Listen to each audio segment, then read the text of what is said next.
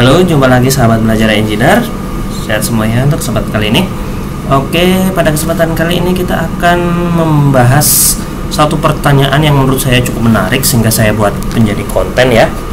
Karena pertanyaan ini berkaitan dengan uh, skripsi ya, skripsi dan juga cukup menarik yang ditanyakan. Ya, kebetulan dia bernama Arso Pratama. Dia menanyakan tentang healthy index ya. Healthy index yang telah saya buatkan untuk ide-ide uh, untuk judul skripsi. Ada beberapa pertanyaan yang mari kita bahas satu persatu ya. Kita agak cepat aja supaya tidak bertele-tele. Yang pertama dia mempertanyakan tentang healthy index. Apa aja sih yang peralatan listrik tegangan tinggi? Apa sajakah yang memiliki indeks kesehatan? Nah kalau ditanya apa saja, berarti jawabannya semua harusnya mempunyai healthy index. Tetapi pada yang sudah lebih e, dikembangkan adalah memang untuk transformator daya. Kenapa? Karena yang mempunyai nilai finansial tertinggi dalam suatu gardu induk adalah transformator daya. Atau ada juga misalnya reaktor atau kapasitor dan juga sebagainya itu juga mempunyai nilai tinggi. Tetapi apakah yang lainnya tidak perlu health index? Jawabannya perlu. Apakah bisa? Jawabannya bisa. Uh, apakah sudah ada? Sudah ada, tetapi mungkin tidak segencar atau sebanyak uh, untuk healthy index dari peralatan trafo daya atau transformator.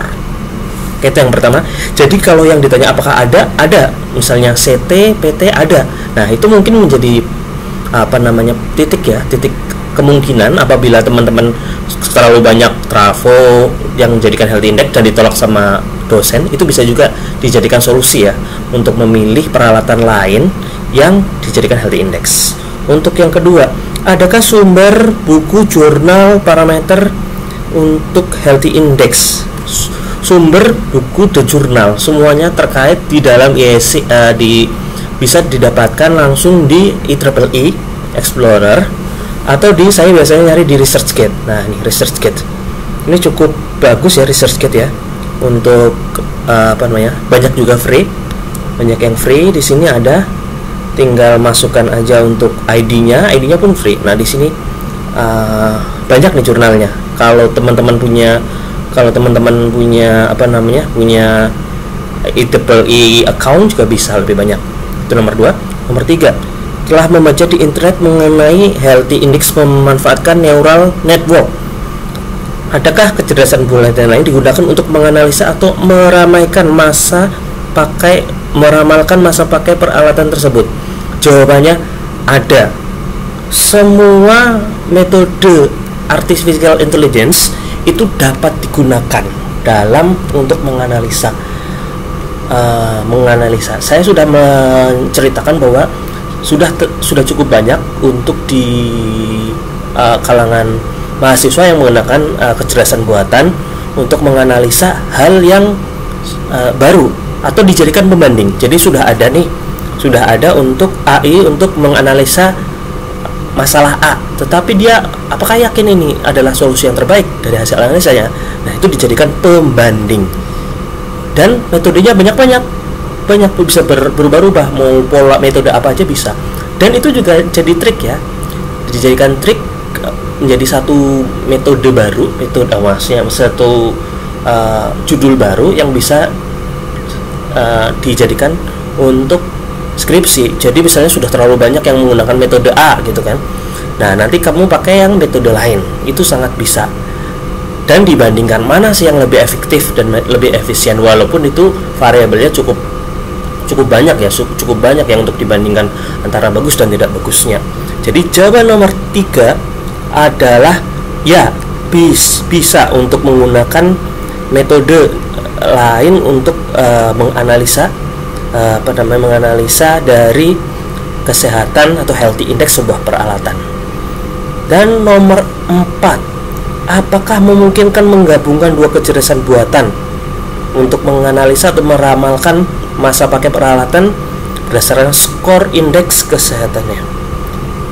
Nah, uh, apakah ada ya jawabannya? Apakah bisa menggabungkan? Jawabannya kalau saya, kalau saya lebih mending atau lebih baik kita cukup cukup cukup dulu untuk satu aja dulu menggunakan satu metode aja dulu nggak usah menggabungkan tetapi kita perbanyak data supaya AI tersebut mempunyai uh, uh, untuk machine learningnya database machine learningnya dia cukup banyak. Sehingga ketika kita banyak case masukan cukup banyak dan banyak data yang kita masukkan itu akan lebih efektif dengan menggun uh, dengan menggunakan satu satu saja dulu untuk metode yang digunakan.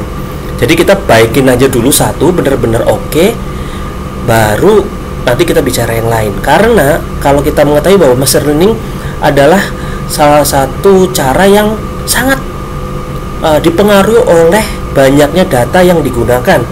Jadi ketika data yang digunakan semakin banyak semakin banyak juga dan validitas dari data tersebut juga baik ya harus bagus juga maka akan semakin hmm, bagus juga analisa dari uh, kejelasan buatan tersebut. Dan kembali lagi ke nomor 2 mengukur apa aja di healthy indexnya ya nah kalau ngomong apa aja healthy indexnya seperti biasa di dalam sini tuh saya buka research kit ya ya. Nah di sini ada beberapa tulisan. Nah di sini ada beberapa item ya item yang digunakan untuk apa namanya dimasukkan untuk mengetahui kondisi peralatan. Dan ini semua mulai dari DGA utamanya adalah minyak itu sendiri. Yang kedua adalah winding, yang ketiga adalah secara utuh ya, secara ter, uh, visual.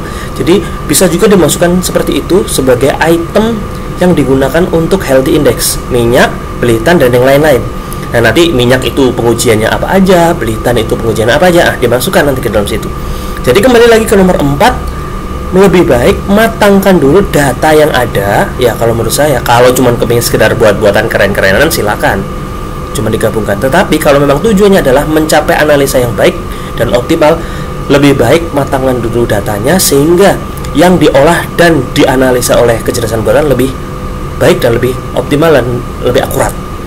Nomor 5 dan yang terakhir, adakah hal lain topik yang masih terkait dengan indeks kesehatan peralatan listrik selain untuk menganalisa? Selain untuk menganalisa, terus untuk apa lagi?